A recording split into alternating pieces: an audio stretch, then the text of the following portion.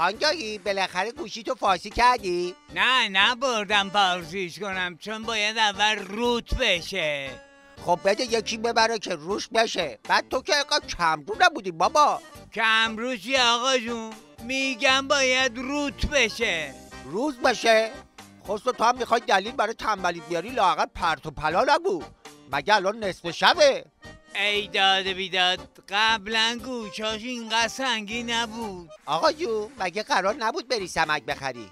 سمک بخرم رفتم بابا. پستیشو والا فروشندهش گفت سمک از ده هزار تومنی داریم تا ده میلیون تومنی گفتم ده هزار تومنیش چطور کار می‌کنه؟ فروشنده گفت اصلا کار نمی‌کنه. فقط مردم با دیدنش بلندتر حرف می‌زنن.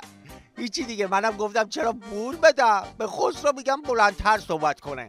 اه پس فقط مشکل منم. معلومه بابا تو خوشگل نباشی کی خوشگل باشه؟ فقط به با چشت نزنه ای داده بیداد گامبی زودتر خبرترین رو بخون که کار داره به جاهای باریک می‌کشه. الان می‌خونم خانجایی. مزهکترین حمایت از مصرف کننده. رسانه ها نوشتن قیمت ماکارونی با مجوز سازمان حمایت مصرف کنندگان 43 درصد گران شد. من که عاشق شیوه حمایتشونم لابستما با گرونی حمایتمون می‌کنن.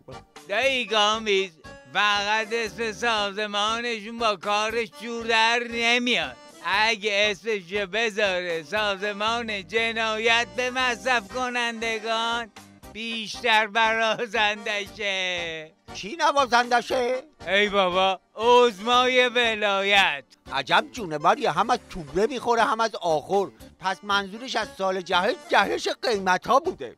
جالبه که حقوق کارگرا رو 21 درصد اضافه کردن ولی قیمت ها رو 43 و 50 درصد بالا کشیدن. فکر کنم دولت منبع درآمدش رو پیدا کرده. قشنگ داره حقوق می‌گیره از مردم. دایی تازه این کادوی اولین روز مجلس یازدهمشونه. اینشالله به حق پنجتن این مجلس مجلس ختم نظامشون میشه. آشا کی شور میشه؟ آش کجا بود آقا جون؟ الان دیگه ماکارونی هم به جرگه غذاهای لاکچری پیوست. بریم ببینی واسه شاب چه خاکی تو سرمون باید بکنیم. بریم خاگایی